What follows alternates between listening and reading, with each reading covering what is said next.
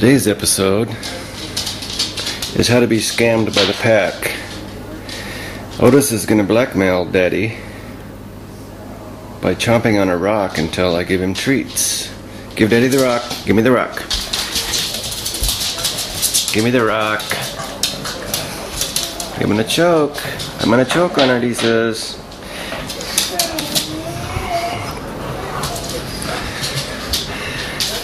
Now the other the other pack members are circling because they know the outcome. They know that in order to the only way I can get the rock the only way I can get the rock is through blackmail. Which is cookies. Now the rock has been dropped.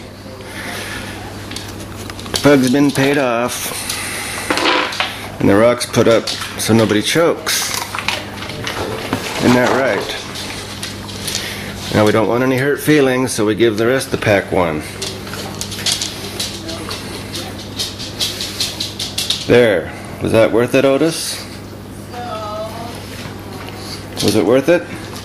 Yes, it was. Scammed again by a four legged animal.